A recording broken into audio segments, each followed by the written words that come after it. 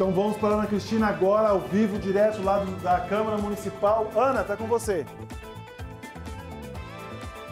Olá, Isael. Olá a todos que acompanham o TVC agora. Pois é, né? A sessão acabou agora, neste exato momento, com a definição dos integrantes dessa comissão processante, que vai apurar se houve quebra de decoro parlamentar com pedido de cassação do, seu, do mandato contra a vereadora Sayuri Baez. Por 13 votos favoráveis, os vereadores decidiram pela abertura dessa comissão processante. Apenas três vereadores votaram contra. Uma sessão tumultuada, bastante tensa como as últimas sessões têm acontecido, infelizmente, na Câmara Municipal. Para a gente falar um pouquinho sobre este assunto da sessão de hoje, a gente conversa ao vivo agora com o doutor Cassiano Maia, que é o presidente. Doutor, como o senhor avalia essa sessão com a abertura desta comissão processante? Bom, bom dia, Ana. Bom dia a todos que nos acompanham. Hoje, terça-feira, manhã de sessão da Câmara aqui no município de Três Lagoas. E eu não abri mão de realmente, primeiro, fazermos as 21 proposituras que tinham que ser avaliadas e estudadas para o crescimento e desenvolvimento do nosso município e realmente tivemos a votação dos 21 projetos, e isso é o mais importante, porque a gente precisa realmente manter esse, esse entendimento que temos aqui na Câmara Municipal, que fazer todo esse trabalho. Agora, é claro que a gente não pode se isentar das regras, a gente não pode se isentar de todo um, um decoro parlamentar que é nos exigido. E por isso, hoje, na manhã de hoje, recebemos uma denúncia, e essa denúncia ela tem que ser recebida pela Câmara Municipal e apresentada a todos os edis. E realmente foi o que nós fizemos.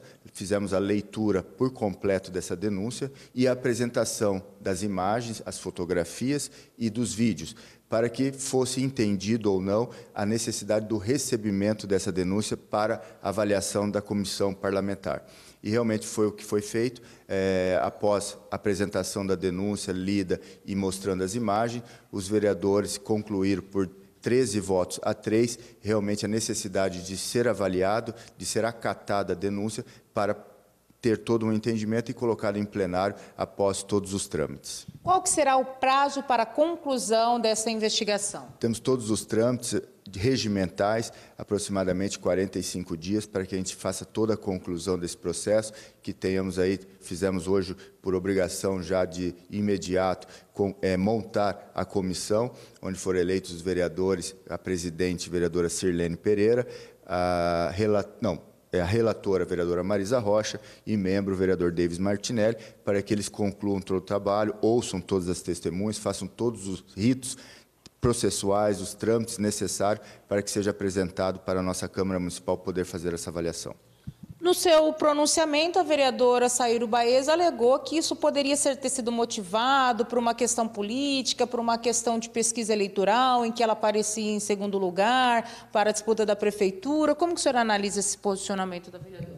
Não, é um posicionamento pessoal dela, né? É, nós acreditamos que realmente, pelas imagens que a gente viu, realmente houve é, quebra de decoro por toda a investida que ela deu de agressão física ao vereador Tonhão.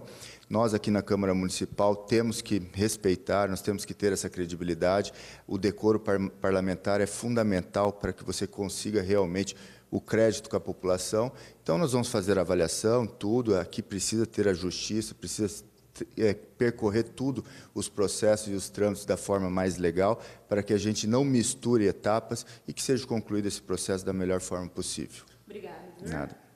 Está aí o presidente da Câmara, né, doutor Cassiano Maia, falando sobre a sessão de hoje. Então, aberta a comissão processante para apurar a quebra de decoro parlamentar é, que a vereadora Saíro Baís teria né, agredido aí, é, fisicamente, verbalmente, o vereador Tonhão na sessão do dia 17. Inclusive, durante a sessão, foram apresentadas imagens, fotografias desta agressão. Por 13 votos favoráveis, a maioria dos vereadores entenderam pela abertura dessa comissão, por acatar o pedido deste morador que fez a denúncia. Agora, os vereadores, essa comissão terá um prazo de 45 dias para apresentar este relatório, se houve ou não a quebra de decoro parlamentar. Se comprovando isso, a vereadora Sayuri Baez, ela vai perder o seu mandato. E quem assumirá a vaga da vereadora na Câmara será a arquiteta e empresária Sandra Lata, do mesmo partido da vereadora Sayuri Baez. Israel Espíndola, volto com você aos estúdios. Mais informações amanhã no RCN Notícias, a partir das seis e meia da manhã, Daqui a pouquinho também a matéria completa no portal de notícias RCN67. A qualquer momento a gente volta com mais informações. Segue daí, lembrando que a reprise da sessão